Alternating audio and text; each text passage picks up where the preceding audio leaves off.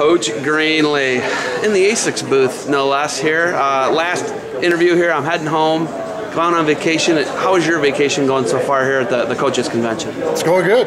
You know, uh, interesting. You know, I, I think some interesting stuff, some motivating things happen here. So uh, excited about it.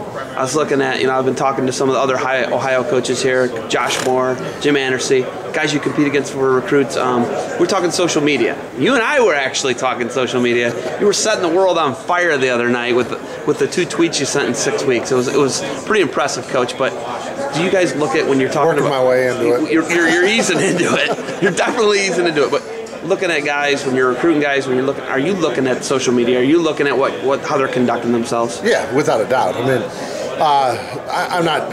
I'll be the first to admit I'm not real good at it as far as uh, tweeting things out and Instagram and all that, but I'm pretty good at looking at it. Uh, my two cents worth is I kind of make a fool of myself. Tweets that my thumbs are so big, stuff's misspelled. Show me those. Show me those. looks- Let me see that. it Oh looks- my know, goodness. It looks terrible. So uh, I, I don't tweet, text, or anything like that a ton, but I do look at it a lot. And yeah, that's where you, you know, it's a, it's another way to get a look at a kid.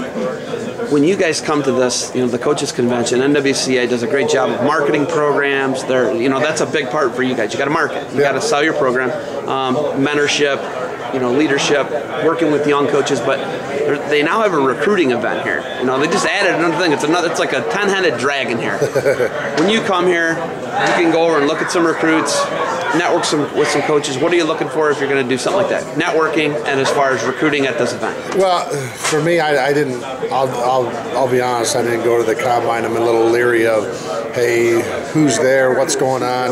Are they sophomores, freshmen, whatever? So, um, kind of try to stay away from that a little bit. I, I think it's a, a good thing and exciting thing for the convention, uh, but you know, to me, it's more getting ideas. What are we going to do? What's something we can do to kind of move our program forward? Uh, I like the marketing thing a lot.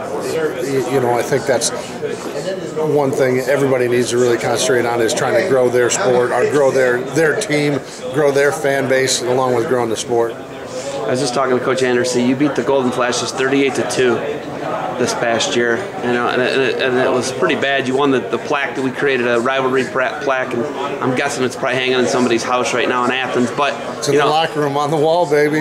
building building rivalries, though. You know, you and I talked about that. Yep. We marketed it, and Yep. it, it was a good event. And then, Still is, I think. and I mean, not nine matches to one usually is not pretty good. Uh, I, well, I don't know. I don't know if any, rivalry you have is going to be good every year, as far as a, a two-point match or a one-point game or anything like that. But but it's still a rivalry. I think their guys look forward to it. I think our guys look forward to it. Our fans look forward to it. You look forward to it. I look forward to it. I'm sure Jimmy looks forward to it. Definitely, and that's and that's something like here at this event. That's something you could relay on to maybe a younger coach who's trying to build a program. Yeah. Um, what can we expect from the Bobcats? You got a returning MAC champ at 125 pounds, and Laney, who I'm pretty impressed with. Might be one of the best athletes you've ever coached. Dwight Gardner might have something to say about it. He's a pretty good athlete, but you good know athlete. that guy is a freak. Um, what do you guys got to do to, to, to get it? You know, eight to ten guys in the national tournament and, and going with a head of steam. Well, I think last year, I think if you look at the year through the month of January, we were on fire. Much of the month of February, we, you know, the wheels kind of came off the bus. bus. We got a bunch of guys hurt. We got a bunch of guys sick. Uh, you know, had a few problems. Just didn't work out the way we wanted it to work. Uh, we don't we don't lose one guy off of last year's team. Everybody's back. Uh, plus, we I think we had a, a pretty good recruiting class.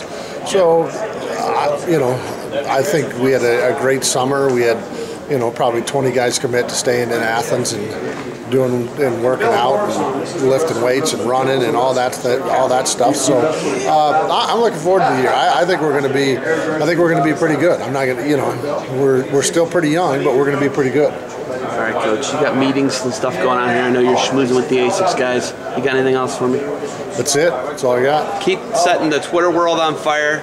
Don't snatch me up if I get a little lippy online.